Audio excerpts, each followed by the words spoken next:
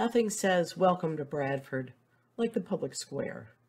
And whether you call it Veteran Square, Public Square, or just the square, as most people do, it's always been a part of Bradford.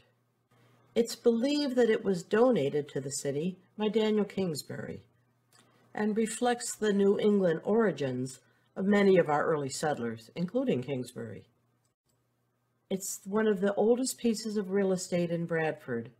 It's never had a house or a building or any structure of any kind on it, except, of course, for an occasional gazebo or bandstand. And we're going to look at that history in this edition of Coffee with the Curator. Now, this is one of the oldest photographs known that shows the square. And the photographer is standing where today's Emery Towers is. That hill in the back is Mount Rob, which of course can never change. So let's look at this photo. This photo was taken yesterday afternoon in September of 2021. And you can tell there's been quite a few changes over the years. And if you look carefully over that brick building on the right, you can see the top of Mount Rob. you can't move the hills of Bradford.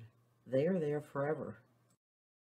But back to this photograph of the boys playing baseball or sockball, as they called it, around 1860.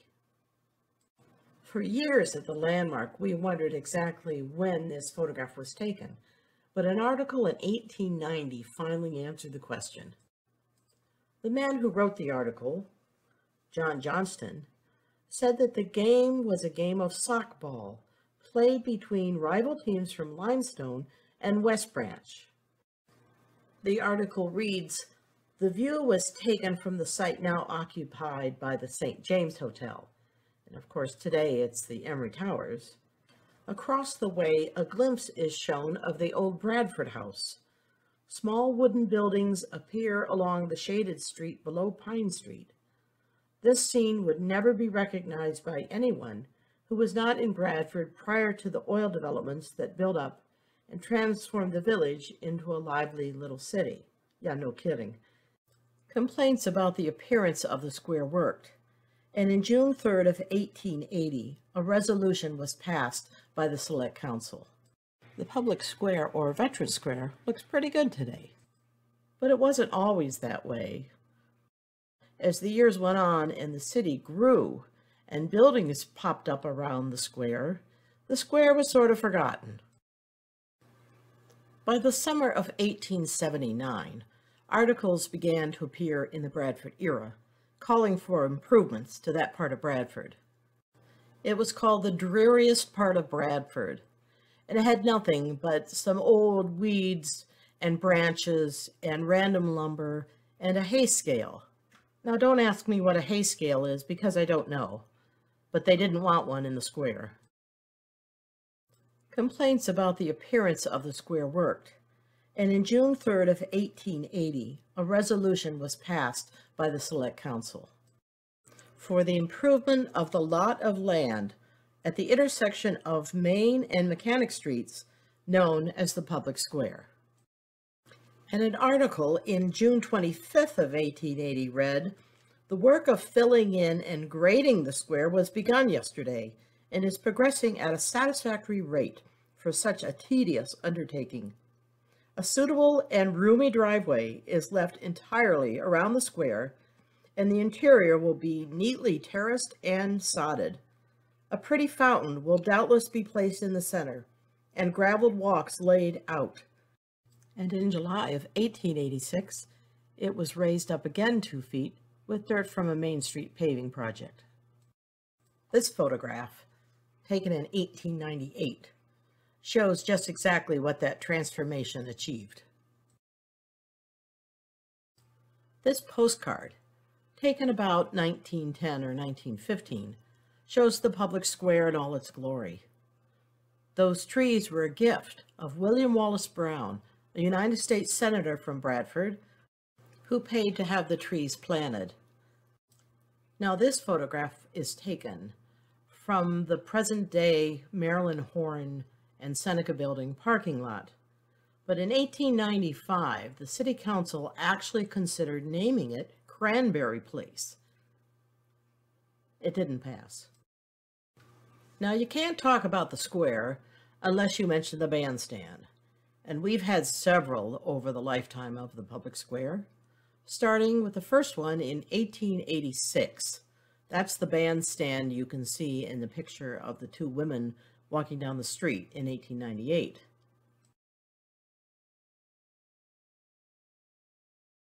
And the same one that can also be seen in this photograph from about 1900. But by 1923 or so, the old bandstand had seen better days, and the town voted to replace it.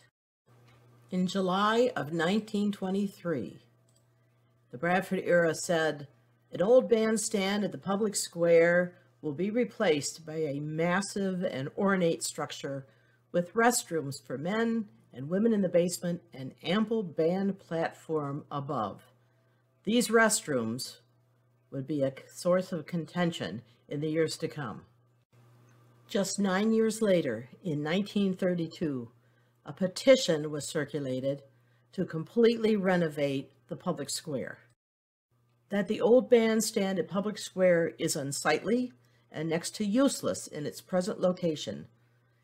It said the stand is very seldom used, citing the last important events that took there were Governor Pinchot's speech.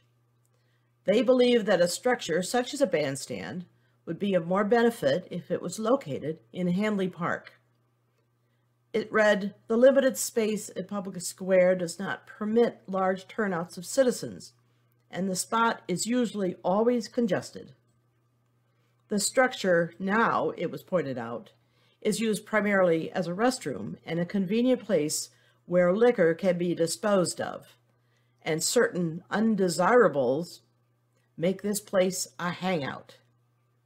Now, of course, this is still in Prohibition, so there was a fear that people were drinking liquor down in the restrooms. And they probably were.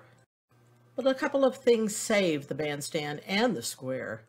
First of all, Prohibition ended, and second of all, there was such a public outcry that it was decided to save the square. And we shouldn't forget the cannons in the square either. Technically speaking, one was a cannon and one was a howitzer. The cannon was from the Spanish-American War, and the howitzer was probably from the Civil War because it was owned by the Grand Army of the Republic, the GAR organization here in Bradford, and for a time was actually up at Oak Hill at the base of the Civil War soldier.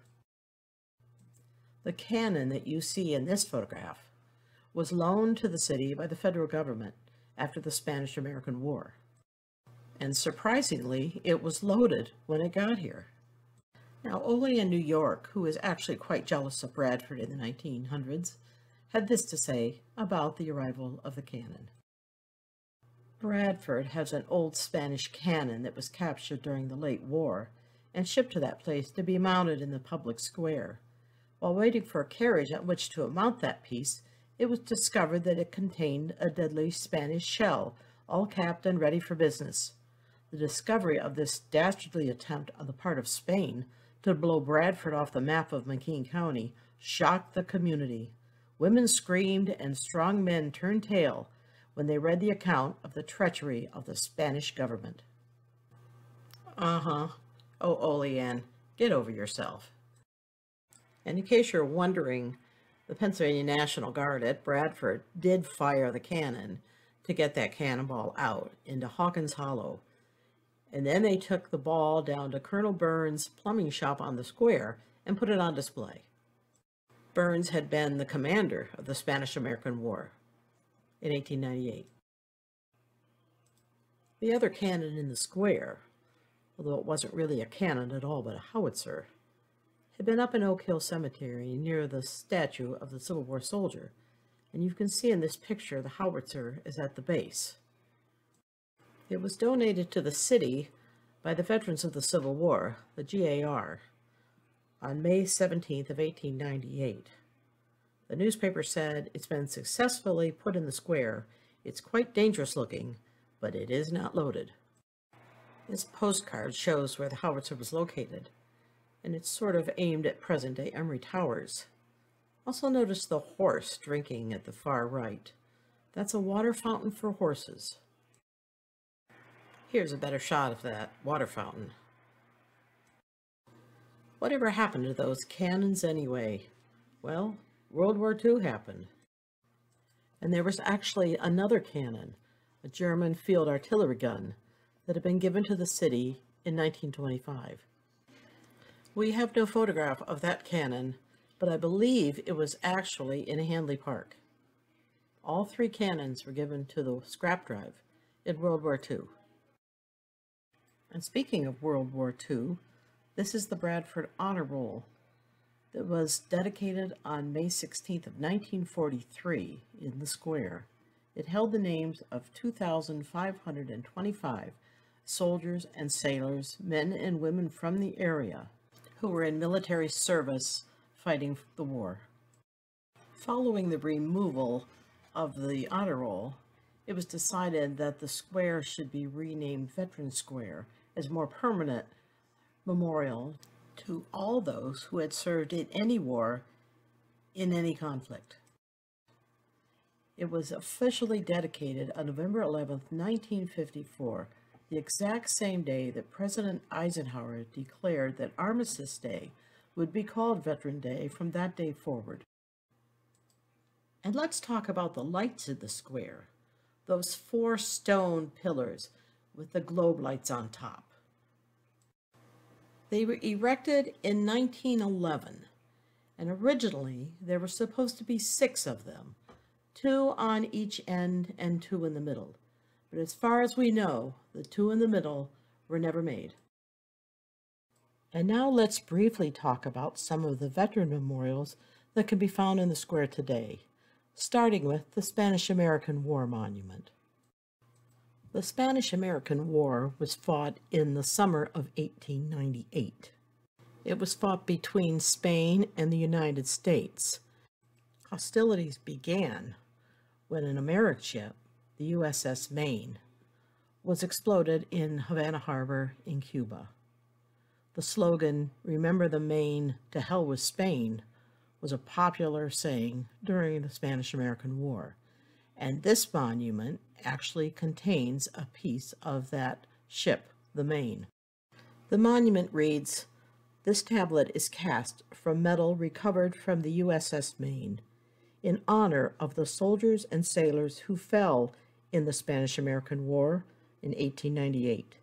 It was erected by the Bradford Camp number 54 of the USWV and citizens in 1914 and contains a piece of the U.S. Maine destroyed in Havana Harbor February 15th of 1898.